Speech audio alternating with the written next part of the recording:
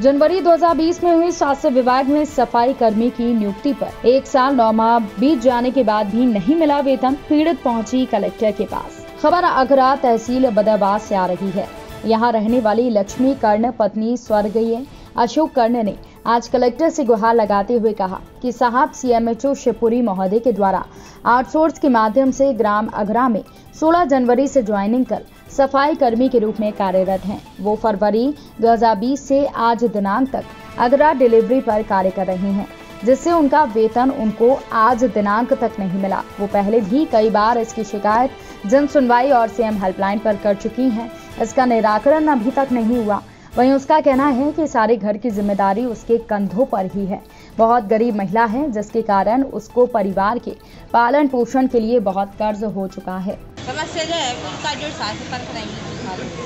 कौन से विभाग में पदस्थ हो आप? स्वास्थ्य विभाग में? स्वास्थ्य विभाग। किस पद पे हो?